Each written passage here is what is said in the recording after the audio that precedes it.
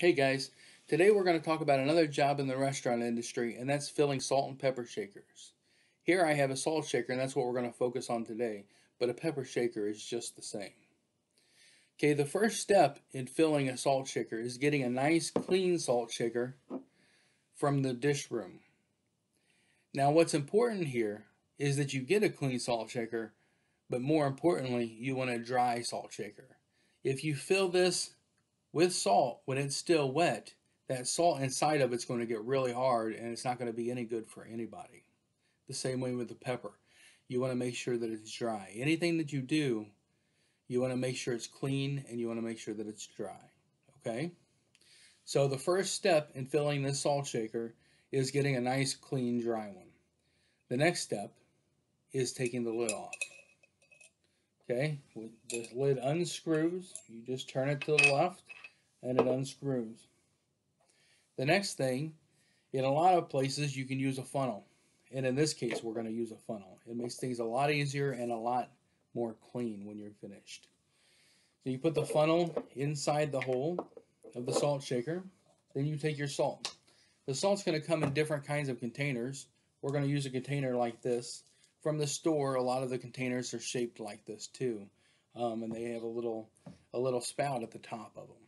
Okay? The key to this is to go slow. We don't want to go fast and we spill salt everywhere. Okay? So we want to go slow because if we make a mess, it's a mess that we're going to have to clean up. So the easiest thing to do is not make a mess. So we're going to fill the salt shaker and we're going to fill it to right about here because when we take this we're going to fill it to right where the neck starts to come up, right to where there's a little line right here in the glass. Because when we take this funnel off, there's going to be a little bit more salt left in it, and we don't want it to spill everywhere. And right there is about as much salt as we need for a day's use.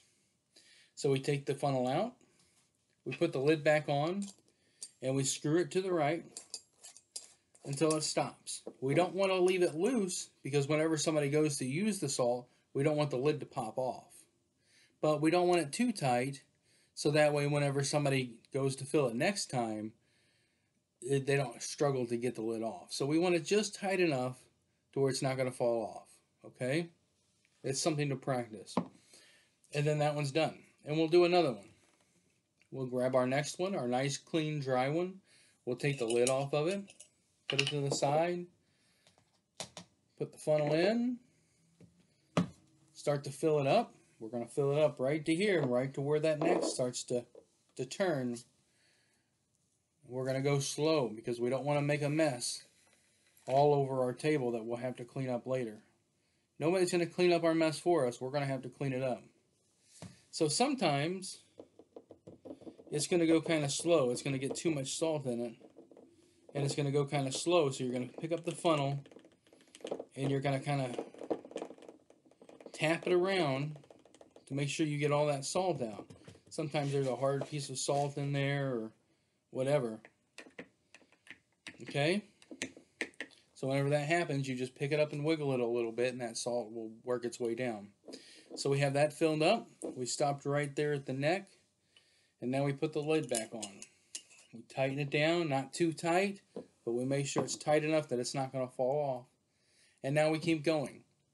We do that until all of our work is done. However many they gave us, that's how many we're going to do. And we make sure we do the even number of salt shakers and pepper shakers, however many we're told by our boss to do.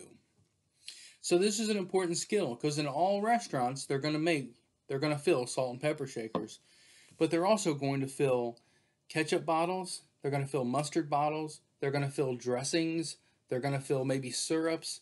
There's a lot of things that you can be filling in a restaurant that uses these same principles of getting a nice, clean, dry container, filling it with the appropriate condiment that you're going to use, and not making a mess when you're doing it. Okay?